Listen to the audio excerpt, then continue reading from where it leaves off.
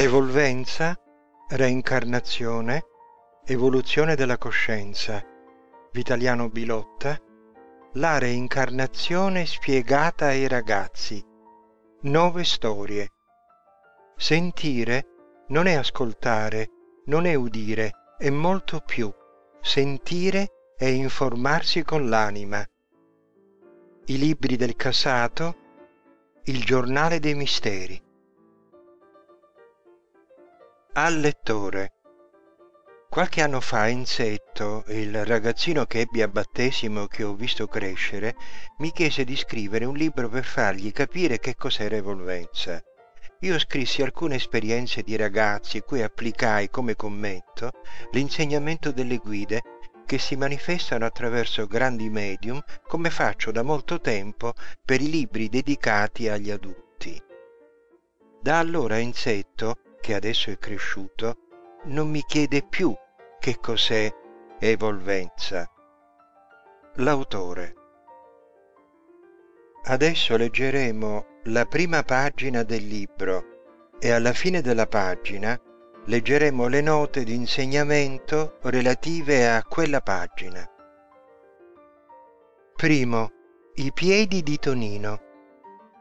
Giocavano spesso a Piazza Navona facendo lo slalom tra le gambe dei passanti. La loro era una passione seria.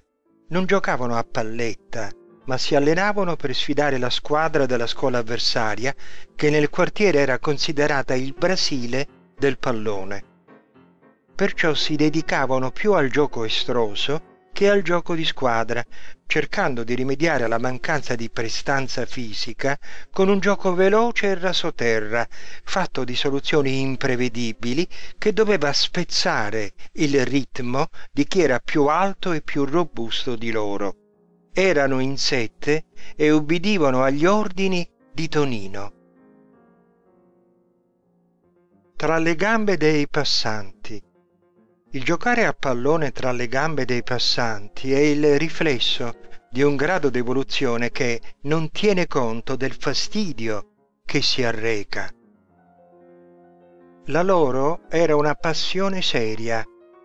La passione per un ideale è sempre seria perché esprime la parte più elevata di noi.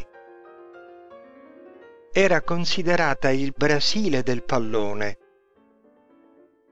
un numero sempre maggiore di persone non ne può più del gioco del calcio. Eppure continuano a vedere partite di pallone. Accade perché anche chi non è interessato a quello sport rimane legato alla media della sua gamma di sentire e ancora si crea e percepisce gli incontri di calcio. Gioco estroso L'estro è un'ispirazione che proviene dai sottopiani più elevati della mente. In pochi hanno l'estro, perché le persone che hanno un'evoluzione medio-alta sono poche. Prestanza fisica. Non a caso un individuo non ha prestanza fisica. Se in vite precedenti si è abusato, ad esempio, della forza del proprio corpo fisico, nella vita che si considera si può nascere con il cuore malformato, perché quest'organo è il motore del corpo fisico, che doveva spezzare il ritmo. La mente vince sul corpo e la coscienza sulla mente.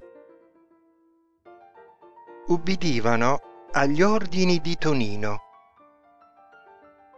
Tonino era un leader.